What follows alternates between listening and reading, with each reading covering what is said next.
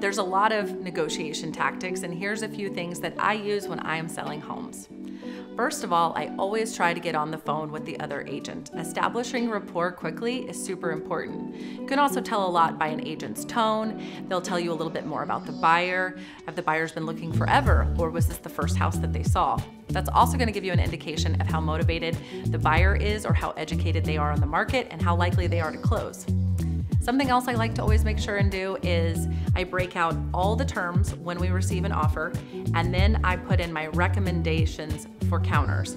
It's super important for a seller to know what is the norm. Sometimes when the market's hot, higher earnest money, higher option fee, and a lower option days is more common. And now that the market's kind of softened a little bit, it is more common that we see the seller paying the title policy or a one week option period versus a three day option period. So I typically will go over what's kind of standard or what I think is more beneficial for my seller. Understanding what's important to the seller and to the buyer is super important as well. Sometimes a buyer wants a little bit longer of a closing date because they don't want to have to make double rent and mortgage.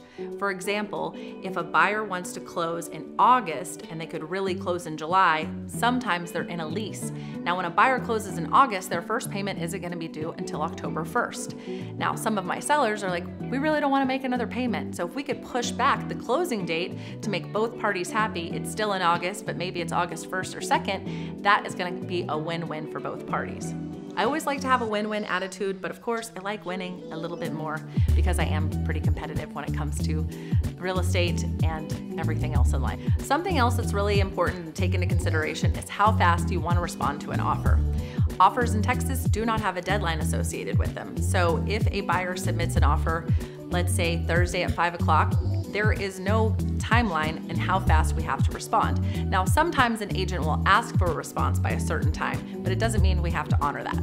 So when it comes to that scenario, that's when I go over my sellers with all the terms and how likely are we to move forward with this offer versus is there anyone else looking at the property? Are there any other potential offers in the wings?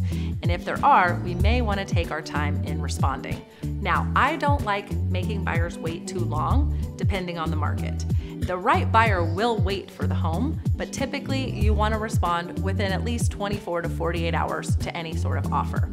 If you can't respond with exact counter terms, you at least want to keep the agent updated on where you're at, why your client's not responding. Maybe they're traveling, maybe they're thinking on it, but you want to make sure you're still keeping in communication.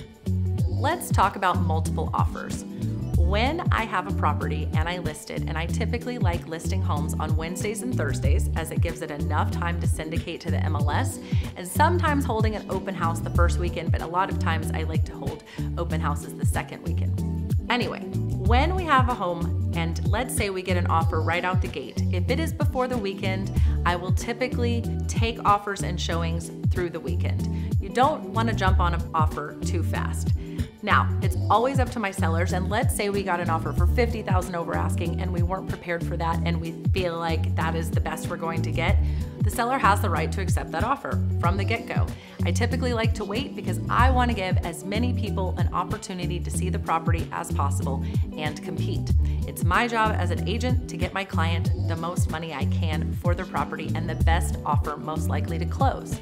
So, with that, I'm typically getting feedback over the weekend, seeing how interested parties are, and it's also my job to make sure I'm communicating with all these agents if they're in the ballpark. I don't want any agent to waste their time, and I want to be realistic, and typically I will give them enough details to make a strong offer for the property. I also will update the MLS with the deadline. That way it gets syndicated. Basically, what this means is that when an agent logs on to the MLS for a property for their client, they see multiple deadlines received, final and best due Tuesday at noon. I will also make sure this goes in the consumer remarks. So if you are a home buyer and you are searching on Zillow or Realtor.com or Redfin, you now see all the property description as well as multiple offers final and best due Tuesday at noon. So you can decide as a buyer, do you want to take a chance and make an offer on this property before the deadline? There's a lot of things that go into negotiating an offer, and at the end of the day, it's always going to depend on the property and the situation. But if you have any other questions, I'm always happy to chat and I would love to sell your house.